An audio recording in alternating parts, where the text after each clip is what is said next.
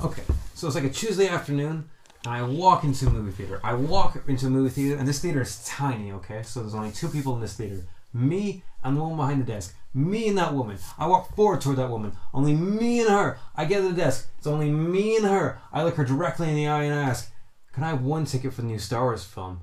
And she says, Only the one? And I'm like, Yeah, it's just the one ticket.